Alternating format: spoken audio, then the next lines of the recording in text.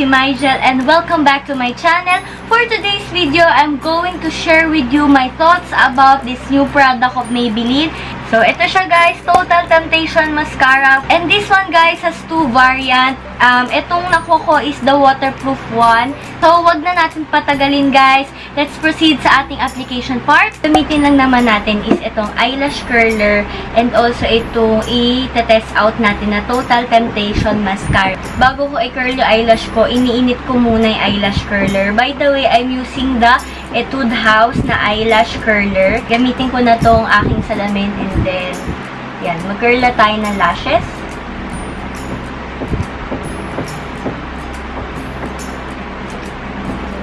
Okay. So, ayan na siya.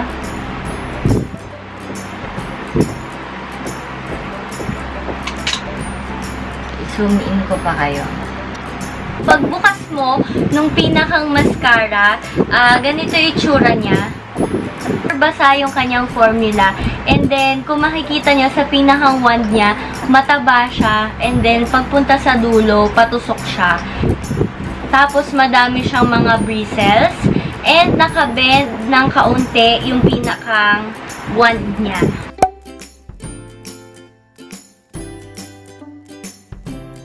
So, yan.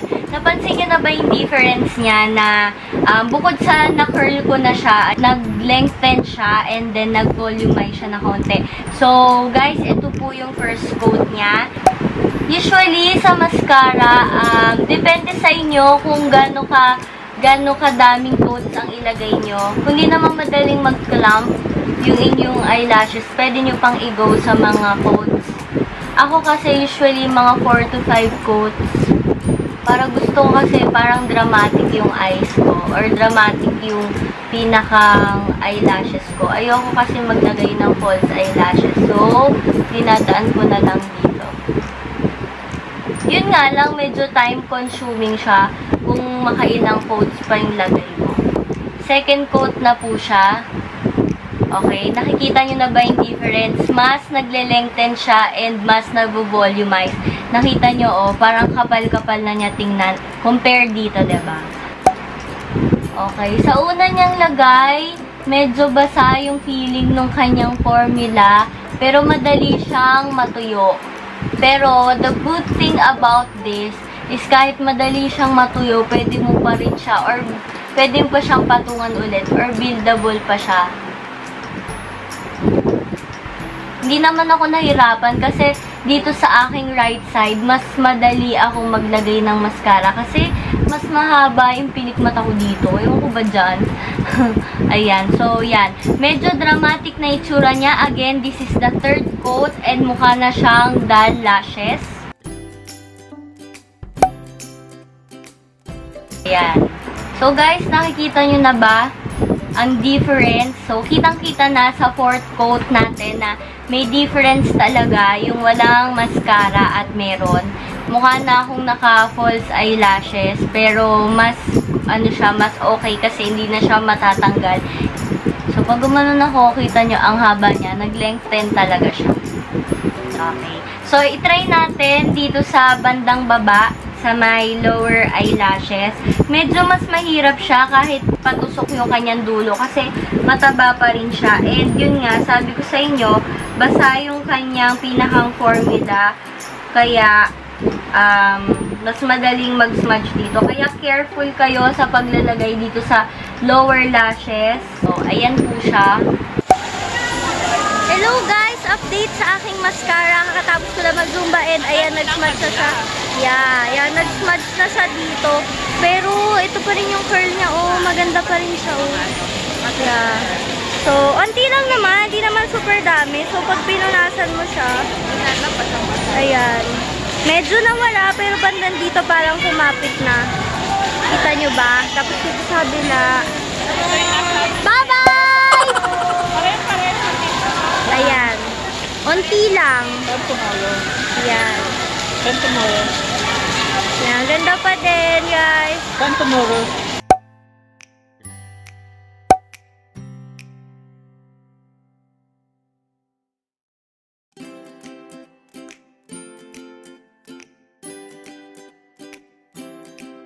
So, it's verdict time na guys. Simulan natin sa packaging niya. Unang-una, napakaganda nung packaging niya is, it's a pastel blue-green, ganyan. Kasi usong-uso na yung mga ganong kulay. Dalawa yung variant niya. It's waterproof and yung hindi waterproof. So, yung hindi waterproof, that's pastel pink. And then, ganito yung tsura niya. May nakalagay na Total Temptation Mascara, tapos Maybelline. And then, dito sa likodan is yung kanyang caution, caution and attention lang naman. Meron siyang talagang lalagyanan. Ganito yung itsura. Yan. Maraming mga nakalagay. Tapos yung shade nito is very black pala guys. And then, dito sa likod may manufacturing date na nakalagay is January 2018. And then, uh, nakalagay dito yung mga ingredients. So, ayun. Yung weight niya is 8.25 ml. Pero nakakapagtaka kasi dito sa pinakang lalagyanan niya, ang nakalagay naman is 9.0 ml. So, medyo confusing. Or baka kapag kasama to, 9.0 ml.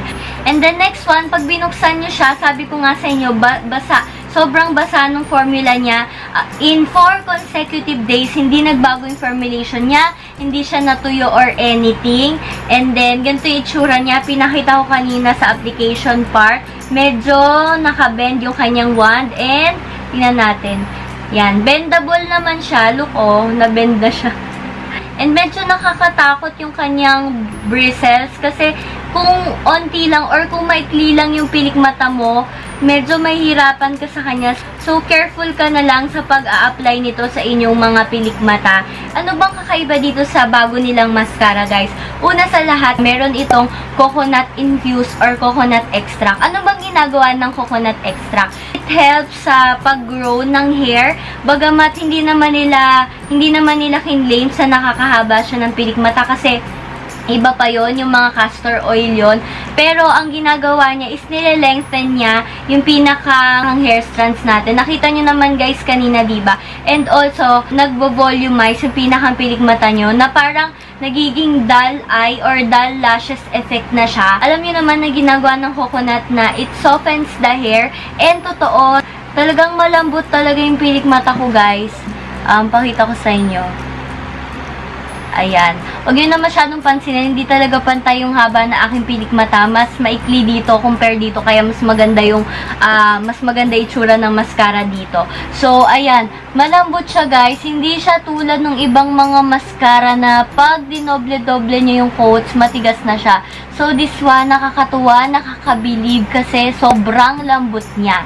So, buildable yung kanyang formula. ba diba? Parang, Um, ngayon lang ako nakakita ng ganong mascara kasi usually, yung mga mascara, kapag halimbawa, nag-first coating ka, tapos medyo natuyo na siya, pag nilagyan mo ulit, nagka-clamp na siya, or, and then, matigas na siya at mahirap na siyang lagyan. Pero, ito, hindi ganon. When it comes naman sa availability niya, guys, available na po ito sa lahat ng mga Maybelline counters. Then, yung price niya is 399. That's the regular price. Pero ngayon, check nyo sila sa The or si Shopee. Meron sila ngayong sale.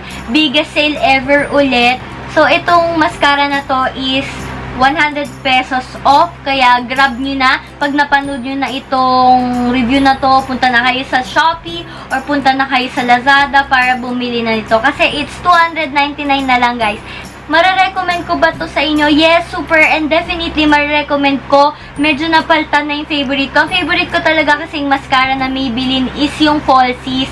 Um, color purple or pink yon fuchsia pink yon kasi super ganda nun. And then, since medyo mahal siya, binili ko na lang yung Hyper Curl. So, yung Hyper Curl, mas mura, nasa 199. Pag sale siya, nasa 149 na lang. Kaya lang, pag tumatagal kasi, hindi ko na nagugustuhan yung, yung kanyang performance. Then, ang pagtanggal nito is hindi kaya ng micellar water. Siguro abutin kayo ng sham-sham para matanggal ito. The best way is to use the eye or lip makeup remover, yung may oil, or anything na oil-based, yung pinaka-tip na ibibigay ko sa inyo and pinakamura ito is yung mga baby oil or petroleum jelly. So, ibabad nyo lang siya. Yung petroleum jelly, medyo masakit lang siya ng kaunti. Pero, ayun, if ever na ayaw nyo naman ng petroleum jelly, yung baby oil na lang kasi mas mura naman yun. Ang test natin, guys, Medyo nag-smudge lang siya dito sa bandang baba ng aking eyes. Pero okay lang kasi pag pinunasan mo, nawawala naman. Ayaw na ayaw ko sa mascara yung kapag nag-zumba ako or pag nagpawis ako, talagang kumakalat siya dito sa baba ng eyes ko na para na siyang eye bags or para na siyang panda eyes. And then sa Gala test guys, this will take you forever. Siyempre, no, sa medyo bandang hapon, medyo bababa na yung pinaka-curl, pero maganda pa rin siyang tignan. Ang mahalaga doon is hindi talaga siya kumakalat sa mukha mo. So, guys, ito nung nag-gala test ako, sinuot ko to ng 9 o'clock in the morning, and then lumabas ako, maghapon ako sa labas, hanggang 12 midnight na ako nakauwi, kasi birthday nun, birthday ni Jiggy nun. Ang medyo downside lang, medyo messy siya, kasi matte nga siya. Ayan, pakita ko sa inyo. Saan makita nyo? Ayan. So, nagkaroon siya ng stain-stain kahit dito sa May, sa pinakang bunganga niya. Pero so far, okay naman kasi yung performance okay din. Thank you so much for watching. See you on my next one. Please subscribe guys. I-click nyo po yung subscribe button and yung bell button or notification button dyan sa baba para ma-notify kayo kapag meron ako mga bagong videos ulit. Always remember, don't worry, be happy, stay gorgeous. Annyeong! Bye! Meow!